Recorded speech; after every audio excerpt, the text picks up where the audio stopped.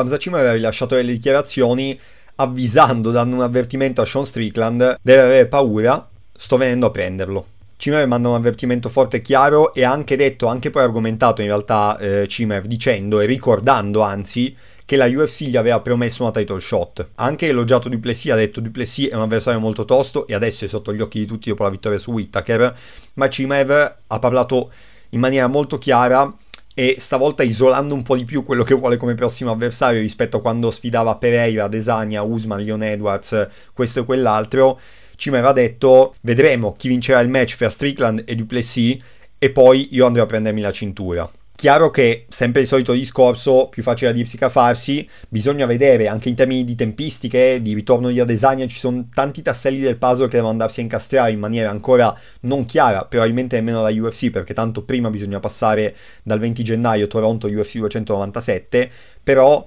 diciamo che la middleweight division adesso sembra essere più viva che mai rispetto agli ultimi anni.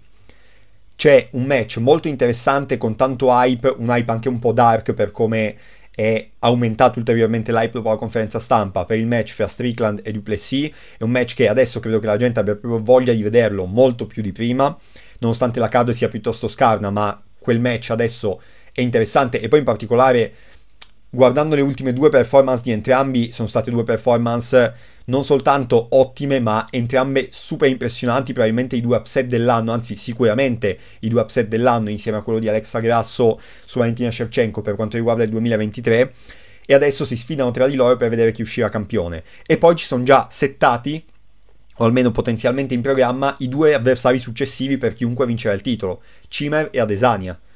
E adesso non sappiamo come andranno a incastrarsi tutti questi tasselli del puzzle, ma sicuramente c'è tanta carne al fuoco nella Midway Division che negli ultimi anni anche per il regno o comunque i regni ehm, interminabili mettendoli insieme di Adesania